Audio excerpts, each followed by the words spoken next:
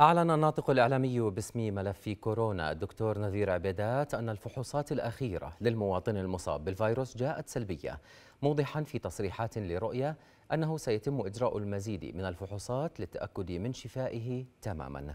ومع استمرار إجراءات الحكومة الاحترازية في مواجهة فيروس كورونا أكد وزير الأوقاف والشؤون والمقدسات الإسلامية الدكتور محمد الخلايلة ضرورة العمل بالتوجيهات الإسلامية الداعية للوقاية من الأمراض داعيا المرضى وكبار السن إلى العمل بالتوجيه النبوي الشريف بلزوم المنزل في حال وجود ضرر على الغير.